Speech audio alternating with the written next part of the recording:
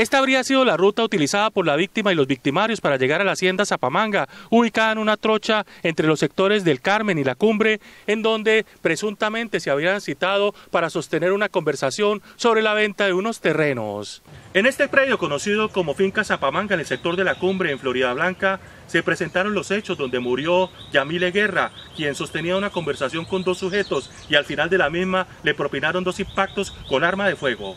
Por ahora la Fiscalía y la Policía asumieron la investigación del crimen para dar con el paradero de los asesinos y establecer los móviles del homicidio de la mujer. Dos sujetos que se encontraron en la finca con ella y con otro familiar, eh, al parecer eh, dialogando sobre negocios relacionados con 20 tierras. Después de observar y mirar unos planos, se presenta un hecho que es materia de investigación, donde disparan y emprenden la huida. Nuestra Policía Nacional es cuando emprende esa importante búsqueda y localización, por cielo y por tierra.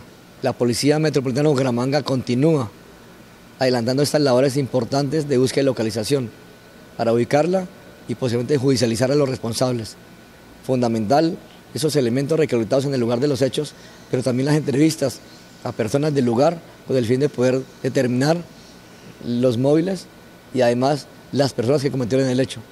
Importante la activación de nuestra red de participación cívica, los teléfonos comunitarios y la línea emergencia 123.